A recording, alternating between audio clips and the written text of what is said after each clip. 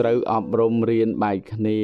រៀនលះបង់រៀនម្នាក់ឯងប៉ុន្តែត្រូវប្រយ័ត្នខ្លួនកុំឲ្យបែកអំពីការប្រឹងព្យាយាមក្នុងការលះបង់នៅកិលេសជីវិតយើងនៅសល់តិចដូច្នេះត្រូវមានពេលសម្រាប់ខ្លួនឯងឲ្យបានច្រើន នៅក្នុងរឿងអ្វីក៏ដោយក៏មានសេចក្តីពិតជាបរមត្តដែរបរមត្តធัวនឹងឯងដែលអត់មានតេតិនអ្វីនឹងយើងអត់តេតិនអ្វីនឹងអ្នកដតី គឺមានការពិតដោយបរមត្តខ្លួនឯងនេះជាសច្ចរស់បញ្ញាក្រេបបាននៅសច្ចរស់មិនប្រទុះនឹងរឿងអ្វីអ្វីអ្វីត្រូវកើតរមែងកើតអ្វីត្រូវមានរមែងមាន ការមិនប្រកាន់ដូច្នេះឯងទៅមិនកើតទុកបើហត់នឿយកាយដើម្បីឲ្យអ្នកដតីបានសុខនេះល្អណាស់តែបើព្រោះចង់រក្សាចិត្តអ្នកណាហើយបណ្ដោយឲ្យចិត្តខ្លួនឯងកើតទុកនេះគឺមិនល្អឡើយ មិនរក្សាចិត្តខ្លួនឯងគឺល្ងង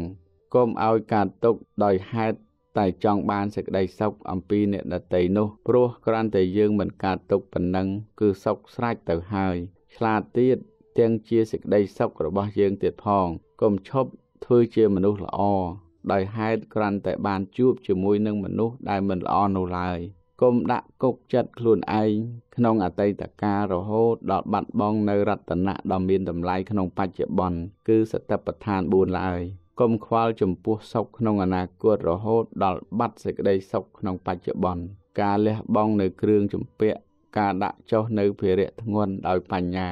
បាននាំទៅជួបសន្តិបត្តិរៀងរៀងខ្លួន ការស្វែងរកមហិច្ឆតា មហាអំណាចនាំទៅជួបភាពជ្រួលច្របល់កលាហលវិវាទទាស់ទែងនៅក្នុងពិភពលោកមិនមានអ្នកណាមកបញ្ចូលសេចក្តីទុកឲ្យយើងបានឡើយបើយើងមាននៅសង្វរៈដោយសតិសម្បជញ្ញៈអារម្មណ៍ប្រៀបដូចជាថ្នាំពុលដែលនៅក្នុងដបតែប៉ុណ្ណោះ មិនមានអ្នកណាគេមកលួចសេចក្តីសុខរបស់យើងបាននោះទេ បើយើងមិនបើកឱកាសឲ្យដោយការវង្វេងផ្លិចសតិទេនោះ យើងកាន់សិលវាចាកនៅអតិនេទានប៉ុន្តែបើយើងមិនមាននៅវិបស្សនាទេ គឺនៅតែប្រកាន់បញ្ញខណ្ឌថាជារបស់យើងដូច្នេះមិនរួចអំពីការជាប់ទោសនៅក្នុងវត្តដាក់ឡើយកាលបើមានវិបស្សនាបានដឹងបញ្ញខណ្ឌតាមពិត ថាជារបស់ក្នុងលោក ឬថាជារបស់មាក៏បានដែរក៏រមែងលះបង់ព្រោះមិនមែនជារបស់យើង ពោលគឺមិនកាន់យកដោយតណ្ហាថា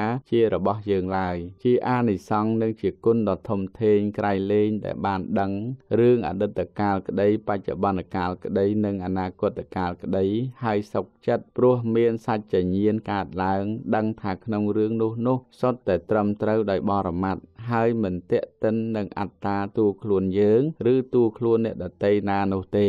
ចរតោតថតោវាបេអាស័យអ្នកសាយនសវា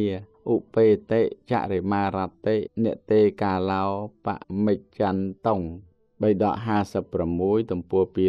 237សិរិ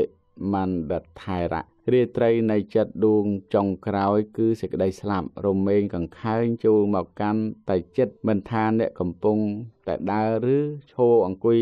ដេកនោះទេ ដូច្នោះកាលនេះមិនមែនជាកាលដែលអ្នកគួរប្រមាថឡើយជីវិតរស់នៅគឺដួងចិត្តដែលដឹងនៅអារម្មណ៍នោះឯងលោកនៃការរស់នៅគឺអារម្មណ៍របស់ចិត្តដូច្នេះចិត្តកបីមានសេចក្តីសុខក្នុងទីណាកបីនាំចិត្ត ទៅរស់នៅក្នុងទីនោះចោះពោលគឺអារម្មណ៍នៃប្រកម្មដ្ឋានដែលនាំឲ្យចិត្តសុខស្ងប់